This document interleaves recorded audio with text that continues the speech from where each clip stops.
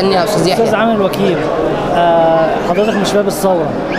وجاي النهارده تضامنا مع الشعب السوري فممكن أعرف بس من حضرتك هل في برنامج أو في إعداد للوقوف آه، مع شباب ثورة سوريا؟ والله هو إحنا محتاجين برامج في كل شيء منظمة لكن إحنا كل التصرفات في الغالب بتتم بشكل عفوي مش بتتم بشكل منظم أو بشكل ممنهج. لكن إحنا يعني كل لحظة وليها إيه؟ وليها متطلباتها.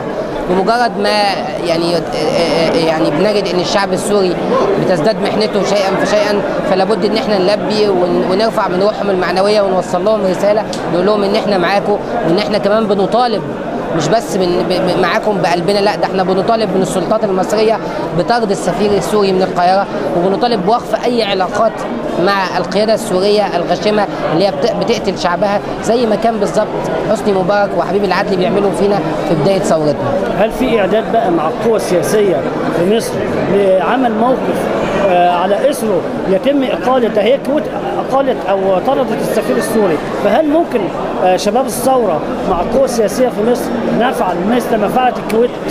هو إحنا إحنا كشباب ثورة مش في إيدينا القرار. إحنا في إيدينا نقول لهم ونبلغ القيادات ونبلغ السلطات المصرية. بطلباتنا. وبنقول لهم وبنضغط عليها. يعني إحنا احتمال يكون بيننا وبين الدكتور عصام شرف لقاء بعد قليل.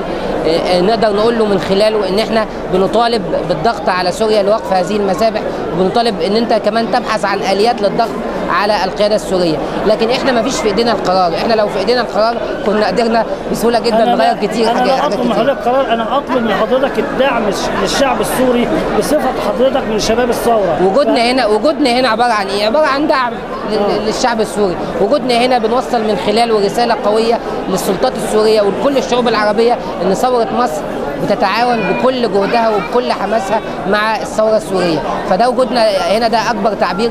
ده غير إن إحنا بنصدر بيانات وبنصدر يعني وبنجري حديث، أظن الإعلام نفسه أكبر ضاغط، الإعلام ده أداة ضاغطه كبيره جدا مش الإعلام المزيف اللي هو بيضلل ال- الرأي العام في سوريا أو أو أو بيقف مع بشار الجزار اللي إحنا بنعتبره سفاح دلوقتي.